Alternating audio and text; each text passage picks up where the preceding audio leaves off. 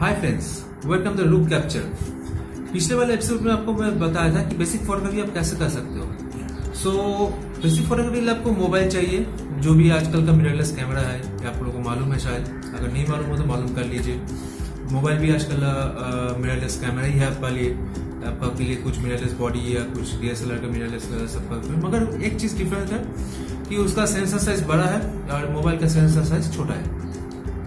तो मोबाइल तो आप लोग सभी चला चला सकते हो। तीन साल के बच्चे के लेके अपना अस्सी साल, सौ साल तक, बुरा तक सब चला सकते हैं मोबाइल। तो आज हम आपको बताएँगे कि एक निकॉन बॉडी को आप कैसे यूज़ कर सकते हो और उसका कौन सा की क्या फ़ंक्शन हो सकता है। अब मेरे हाथ में आपको देख रहे हैं निकॉन का अपना बॉडी ये निकॉन का कैमरा है और निकॉन का D five six double zero camera है एक चीज़ में आप लोग ध्यान से सुनिए। ये जो बेल्ट है ना कंपनी में ये बेल्ट आपको पैसा खर्च करके फ्री में नहीं दिया है। या हाथ में ऐसे लपट के रखने के लिए नहीं दिया है। इस बेल्ट को आपको गले में रखना है। बाय चांस कुछ ना होए तो ये कैमरा आपका गले में लटकेगा। ज़मीन पे नहीं गिरेगा। ये बात को ध्यान में रखिए। हमेशा ये जो बेल्ट है ना बेल्ट गले पे रखिए। कैमरा स्टाइल मारने के लिए नहीं है कैमरा है पिक्चर खींचने के लिए है। तो अभी जो है ये कैमरा मेरे पास जो लेंस है देखिए अठारह एक सौ चालीस का लेंस है। सो so, इसका लेंस कैप मैं वो खोल देता हूँ। खोल के मैं आप लोगों को अभी एक चीज़ बिंदी करूँगा। पहले जो आप मैनुअल पे मत कोशिश कीजिए। आप ऑटो में कोशिश कीजिए। ये जो ऑटो है इस ये डायल घुमाने से घूमता है। अभी जो आप है इसको ऑटो में कोशिश कीजिए, हमेशा।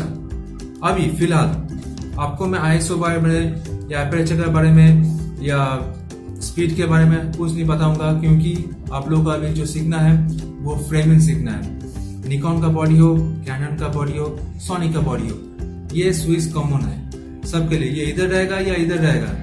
ये कहीं भी रह सकता है, मगर ये स्विच सबके लिए कॉमन है, और ये शॉर्टर रिलीज़ बटन है, ये ये वाला बटन, देख लीजिए ध्यान से, ये वाला बटन शटर रिलीज़ बटन है।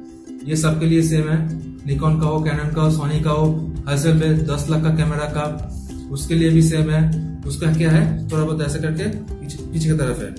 मगर मोरालेस सबका सेम बटन है। सबको ही मालूम है। जिसके पास जो भी कैमरा है, सबके लिए सेम बटन है। सिर्फ़ ये बटन दबाने का। आप लोग अभी को जो सीखना है, वो है फ्रेमिंग ये जो एलसीडी स्क्रीन में जो दिख रहा है आपको अभी आप बताओगे कि आपका हमारा मिररलेस कैमरा आ गया है। हम लोगों को ये सब ज़रूरत नहीं है। ये सब हम आपसे क्यों सीखे? मगर ये सब आपका बहुत बहुत ही ज़रूरत है।